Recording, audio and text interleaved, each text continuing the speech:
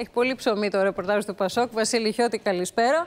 Πέντε χθες ήταν τρεις. Σήμερα έγιναν πέντε. Να δούμε αύριο μεθαύριο. Για εφτά τους βλέπω και έχει ο Θεός. Αλλά τι χαρακτηριστικά παίρνει αυτή η αναμέτρηση τώρα με τόσους υποψήφιους; Θα δείξει. Αλλά κοίταξε τώρα. Ακούγονται πολλές, αλλά δεν είναι.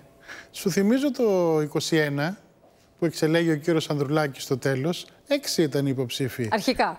Ναι, εντάξει, κάποιοι στον δρόμο χάθηκαν, Ε, και αλλά τώρα και μπορεί τώρα να μπορεί να συμβεί συμβεί αυτό, ναι. αυτό. Άρα, καταρχάς να κλείσει ο κατάλογος να δούμε πόσοι θα είναι.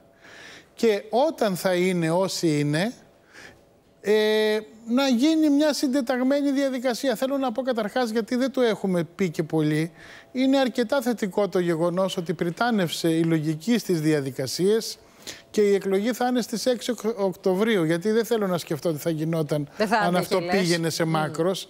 Τώρα, τρεις μήνες προεκλογική περίοδο με τον Αύγουστο μέσα, εντάξει, σύντομη θα είναι. Ουσιαστικά είναι 100 μέρες. Ακριβώς. Βγάλε 15 Τώρα- μέρες τον Αύγουστο σίγουρα και τα Σαββατοκύριακα. Όλοι αυτοί οι υποψήφοι πρέπει να αποδείξουν ότι πρώτον είναι καλύτεροι από τον Ανδρουλάκη. Γιατί ξεκίνησε η διαδικασία, φαντάζομαι με την παραδοχή των πάντων, ότι ο κύριος Ανδρουλάκης δεν ανταποκρίθηκε στο ύψος των περιστάσεων. Δεύτερον, πρέπει να αποδείξουν ότι είναι καλύτερα από τον Κασελάκη.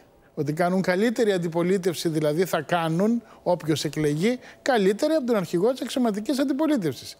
Και τρίτον, πρέπει να αποδείξουν ότι έχουν απόψεις και θέσεις καλύτερες από το Μητσοτάκη. Αυτό ε, να το αποδείξουν ε, δεν γίνεται. Ε, Εντάξει, πρέπει στα όμως λόγια. να πείσουν όσους προτίθενται να πάνε και να ψηφίσουν τη νέα ηγεσία του Πασόκ ότι μπορούν να το κάνουν. Και σίγουρα να δώσουν ένα δείγμα γραφής και σε σχέση με τις θέσεις τους, αυτές καθ' αυτές, αλλά και σε σχέση με την προοπτική του, του, του Πασόκ, αν θα συνεχίσει την αυτόνομη πορεία του, εάν θα μπει σε μια διαδικασία συνεργασιών και συγκλήσεων και ούτω καθεξής. Μήπως όλα αυτά τα μάθουμε στο debate. Βλέπω όλοι είναι ψημένοι. Ναι, ψημένη είναι, αλλά εγώ θέλω να σου πω ότι δεν πιστεύω ότι το debate θα αναδείξει την προσωπικότητα και τις θέσεις του καθενός. Και κακά τα ψέματα τώρα. Αν βάλεις 7 να μιλήσουν, τα ξέρεις και από τα εθνικά debate που έχει μετάσχει και τώρα τελευταία έχουν γίνει πολυπρόσωπα.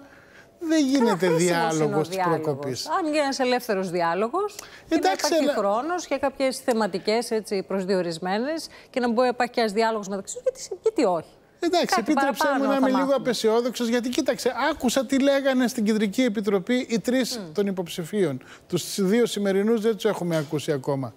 Όλοι λένε ότι πρέπει να, πάρουμε, να προσεγγίσουμε ξανά την κεντροαριστερά και να πάρουμε ψήφους από την κεντροαριστερά.